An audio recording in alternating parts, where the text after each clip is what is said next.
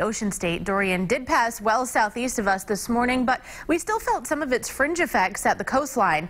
Eyewitness News reporter Julianne Lima caught up with some southern New Englanders who made the most of it. Dorian was far enough away to avoid any major damage here in southern New England, but it was still close enough to generate some big waves and dangerous rip currents.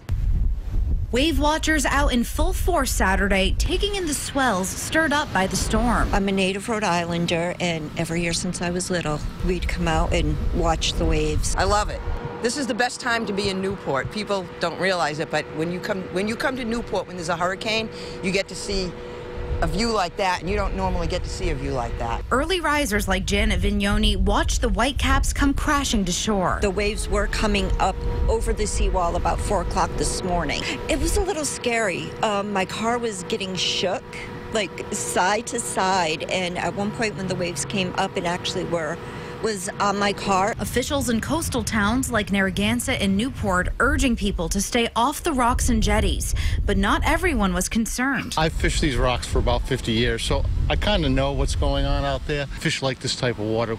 Bait gets mixed into it and you just cast into the whitewater. Onlookers taking in the beauty, not taking for granted our luck in dodging the brunt of Dorian. We're fortunate that it, that we didn't take a direct hit from the hurricane, and we're fortunate now that it's so far out to sea that we can just enjoy it as it is right now. Something about it, it's beautiful. You know, it's beautiful to watch and nature.